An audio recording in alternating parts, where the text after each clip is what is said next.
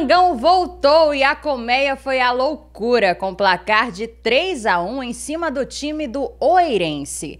O atacante Rafael Freitas foi aclamado pela torcida após marcar dois gols na semifinal. Eu acho que a gente tem que parabenizar as pessoas que, que fazem o CEP, a diretoria, a comissão técnica, os jogadores, as pessoas que trabalham direta e indiretamente em prol do CEP. Então essa torcida merecia essa volta à primeira divisão. E é muito gratificante, eu estou muito feliz. Agora é dar uma, uma relaxada, comemorar junto com a torcida e descansar um pouco e pensar na final. Mas o principal objetivo da, da temporada já foi conquistado, que é o acesso. Pô, a final vai ser bom, vai ser festa, independente de quem seja campeão, vai ser festa. Parabenizar o nosso torcedor, fazia falta que não lotava o Gigantão da Malva e hoje estava muito bonito, dá, é muita satisfação jogar com o campo assim cheio, você vê a torcida incentivando você do início ao fim. A gente fica muito feliz com isso.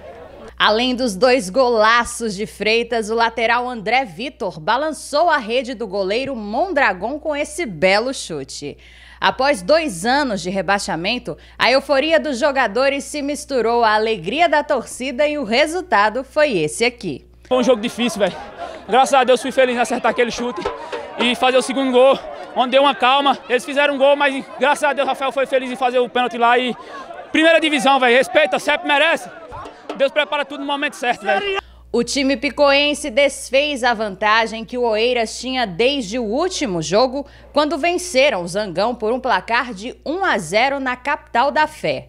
O gol do time de Oeiras na partida de sexta-feira saiu como uma bomba dos pés do lateral Caio César.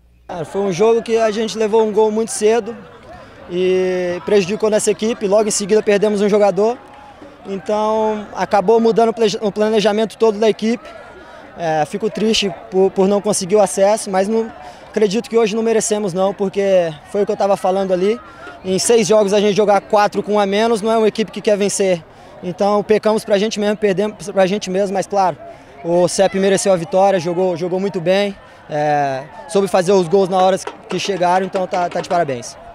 A Sociedade Esportiva de Picos acumula nove gols marcados no campeonato e quatro sofridos.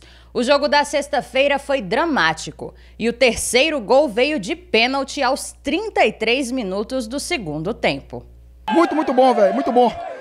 Aqui no Piauí eu tô acostumado, eu tô acostumado a dar voltas, porque sempre eu fui campeão, aonde eu fui, subir time, então tem que respeitar o Bahia mesmo. Na decisão, o Picos aguarda o vencedor da outra semifinal entre Coriçaba e Timon, na partida que acontece hoje à noite no Lindolfo Monteiro, na capital Teresina. Independente do resultado, o Zangão já está garantido na elite do futebol piauiense em 2020. Então, parabéns a todos os envolvidos, a imprensa, por está sempre cobrindo e ajudando a Sociedade Esportiva de Picos. Esse acesso é para todos os piconheiros, para todos nós. Tem dois anos e meio na presidência, mas conseguimos dar a volta por cima, fruto de um trabalho sério, de um planejamento que faz parte de todos. E agora é só comemorar esse acesso que Picos merece. Esse acesso é para o povo picoense.